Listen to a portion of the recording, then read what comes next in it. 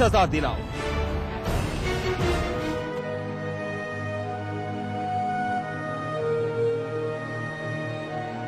बेटे के हत्यारों के लिए सजा की मांग करती और आँख से बहते आँसू इस माँ की हालत बयां कर रहे हैं।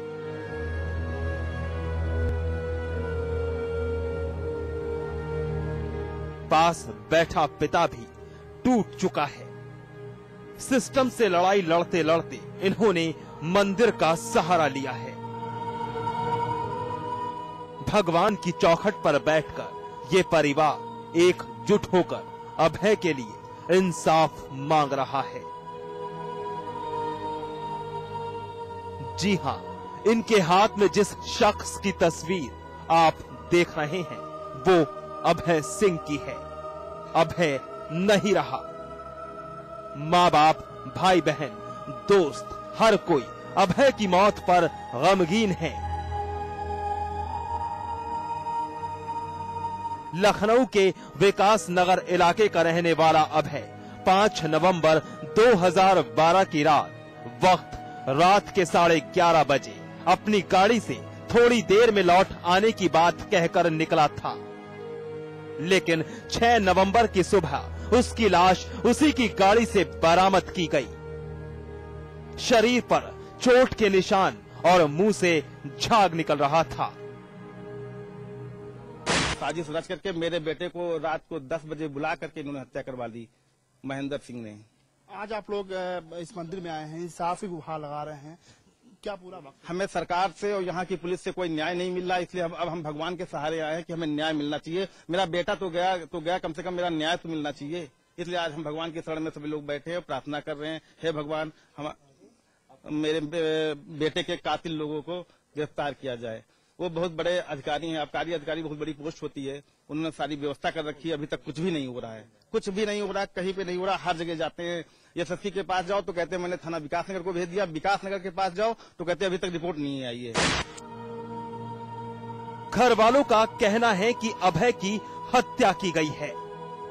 और हत्यारे कोई और नहीं, बल्कि उसकी पत्नी अनामिका के घर वाले हैं, जिन्होंने साजिश के तहत उसकी हत्या की है।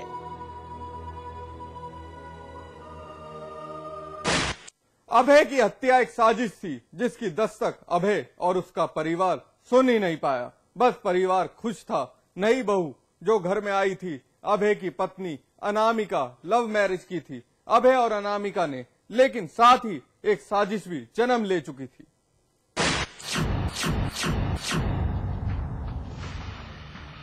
पहले जरा ये तस्वीरें देखिए क्योंकि तस्वीरें झूठ नहीं बोलती।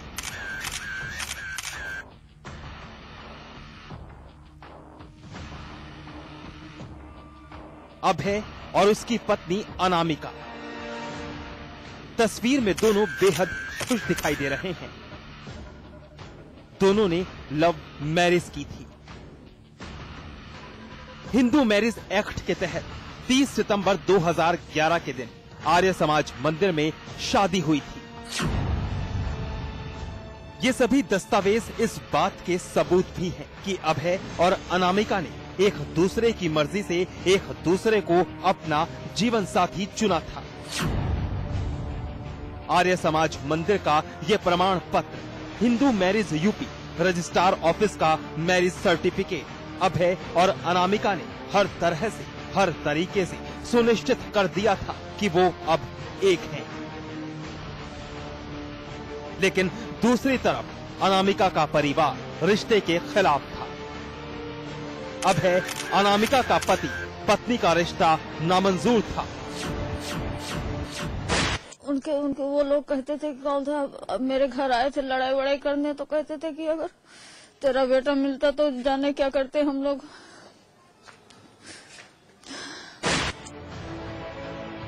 अभय और अनामिका एक दूसरे के बन चुके थे। अनामिका एक बहू की तरह अभय के परिवार का हिस्सा थी। शादी का एक साल गुजर चुका था। अभय और अनामिका का परिवार खुश था, लेकिन अनजान की एक साजिश रची गई है।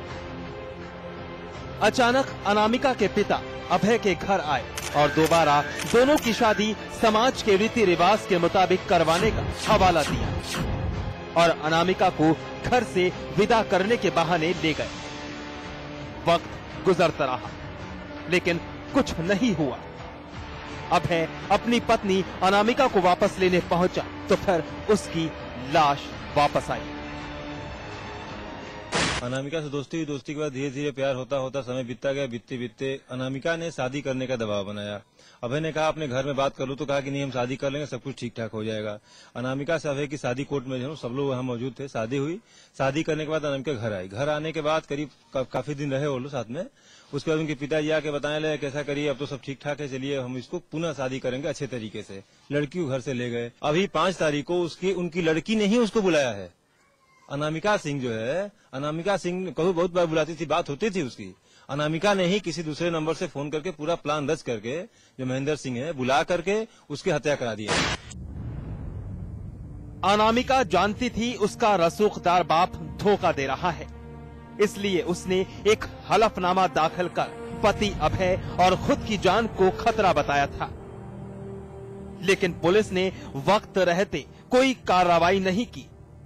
जिसका खामियाजा आज अभय का परिवार अपना बेटा खोकर भुगत रहा है। अभय के परिवार का कहना है कि पुलिस, प्रशासन भी हत्यारों के रसूख के आगे घुटने टेक चुके हैं। मतलब विकासनगर थाने में हमने एफआईआर लिखाने की कोशिश की, वहाँ पे एफआईआर नहीं लिखी गई। तीन दिन के अंदर एफआईआर मतलब फाइनल रिपोर्ट लगा करके भेज दिया गया।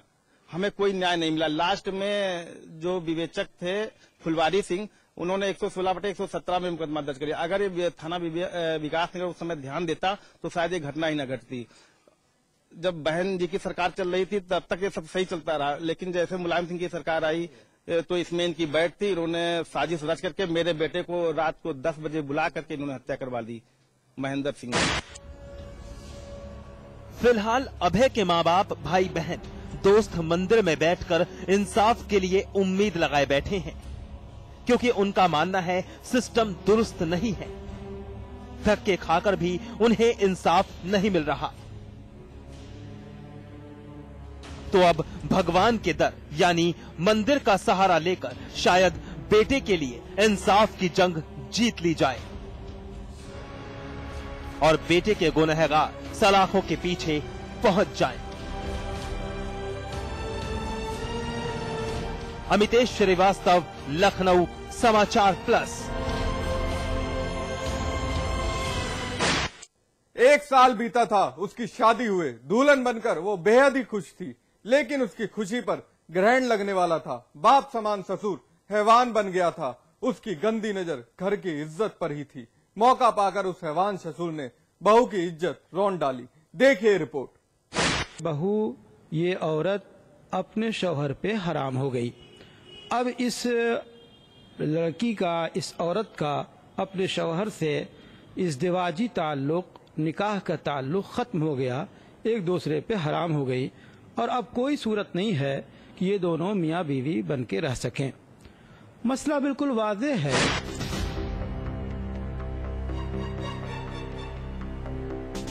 सुना, क्या कहा देवबंद के दारुल उलूम मुफ्ती ने? वो अब अपने पति के लिए हराम हो गई है। ससुर ने उसका बलात्कार किया है। तो फिर पति पत्नी साथ नहीं रह सकते। शरीयत का कानून कुछ यही कहता है। धुंधली तस्वीर के पीछे बैठी इस महिला का चेहरा और वो बहते आँसू हम चाहकर भी आम नहीं कर सकते हैं। ये वो मजलूम है जिसकी एक साल पहले शादी हुई थी। बेहद गरीब परिवार से ताल्लुक रखने वाली ये महिला, वो सब कुछ सह रही थी, जिसे जानकर यकीनन आपका दिल भी हिल जाएगा। एक निहायत ही शरीफ इंसान तौबा तौबा करने लगेगा। चलिए, इसकी आप बीती से आपको भी रूबरू करवाया जाए। उससे पहले महिला की पहचान गुप्त रखने के लिए काल्पनिक नाम दे दिया जाए। नसरीन, सहारनपुर के रामपुर मनिहारन के रहने वाले रेहान से एक साल पहले इसकी शादी हुई थी। ससुर ने भी इनको बहुत ज़्यादा ऐसी जलील हरकत की, जिससे कि हर इंसान के लिए बहुत यानी कि बुरा है हिसाब किताब बहुत ज़्यादा। तो उन्होंने यानी कि अगर हमने इसकी बात को सुनते हुए बच्ची कहा उनको, कहने लग गए, इतना ऐसा है, हम बच्ची को नहीं भेजेंगे। जो तुम्हारे से वो कर लो। हमारी पुलिस हमारी, प्रशासन हमारा, पैसा हमारा। नसरीन की शादी हुए, एक साल बीतने वाला था। लेकिन इस दौरान वो तिल तिल मर रही थी। घुट घुट जी रही थी। पति, सास और ससुर का दबाव था। ससुर की घिनौनी हरकत आम ना करने का। नसरीन का बाप समान ससुर, उसकी इज़्ज़त से खिलवाड़ कर रहा था। घर की इज़्ज़त लूट रहा था। पति रेहान भी पिता की घिनौनी करतूत पर पर्दा डालने की कोशिशों में लगा था। लेकिन नसरीन कब तक सहती? आखिरकार सब्र का बाँध टूट गया और अपने परिवार को सारी ससुर की हरकत बयां कर दी। सुनिए जरा। और मैं तुम्हें घर भी तुम्हारे नाम कर दूँगा, पैसा दूँगा बहुत।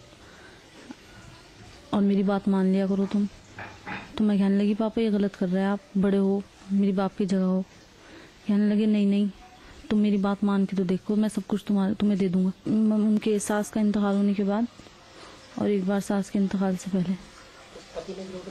नहीं, कुछ भी नहीं, वो कहने लगे, छुपा लो इस बात को तुम अब तो। और अब नहीं करेंगे वो ऐसे। लेकिन उसके बाद भी वो करते ही रहे। जब सास का इंतकाल हो गया, उसके बाद और उनकी हशी हरकतें सी बढ़ती गई नसरीन के साथ हुई इस ज्यादती के लिए इंसाफ मांगने के लिए जब नसरीन और उसका परिवार पुलिस के पास पहुँचा तो फिर पुलिस ने भी हाथ खड़े कर दिए। कभी इस थाने तो कभी उस थाने के चक्कर कटवाए जाने लगे। इसने जो है नहीं, हम रामपुर पहुँचे, कुतब शेर पहुँचे, कुतब शेर वालों ने कह दिया, भाई, रामपुर जाओ। हम रामपुर पहुँचे, रामपुर वालों ने कहा महिला अध्यक्ष में जाओ। महिला अध्यक्ष में पहुँचे तो उन्होंने कह दिया, ऐसा है, रामपुर जाओ। हमने इसी तरह चार दिन बिता दिए। फिर सीओ साहब के पास गए, कोई सुनवाई नहीं हुई तो सीओ साहब ने, एसएसपी साहब ने इस पे आदेश किए कि लड़की को वहाँ से लाओ लिखा गया नसरीन का परिवार इंसाफ के लिए दर दर की ठोकर खा रहा है। अदालत के हस्तक्षेप के बाद नसरीन के ससुर और बाप पर कार्रवाई के आदेश दिए गए। ससुर और पति फ़िलहाल फरार हैं। नसरीन पर एक और मुसीबत टूटी है। दारुल उलूम का फरमान। पति साथ नहीं रह सकता। अब ये मजलूम जाए तो कहाँ जाए? बड़ा सवाल है। फैसल खान, सहारनपुर, समाचार प्लस। बहरहाल, एनकाउंटर में वक्त है ब्रेक का। ब्रेक के बाद दिखाएँगे एक कातिल साजिश।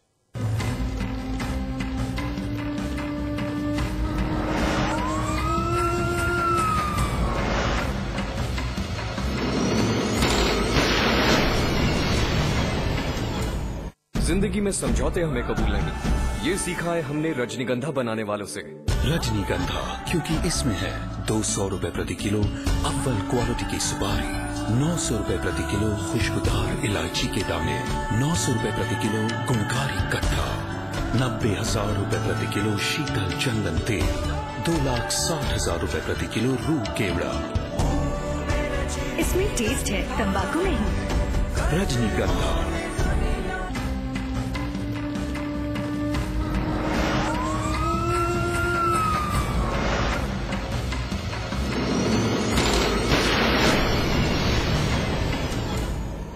शादीशुदा था, लेकिन किसी से इश्क करता था। ये बात बीवी को नागवार गुजरी थी और फिर पति ने रची एक खौफनाक साजिश, कत्ल की साजिश। आप भी देखिए, इश्क में पागल कातिल पति की कातिलाना करतूत। इश्क अंधा होता है। इश्क में आशिक। किसी भी हद से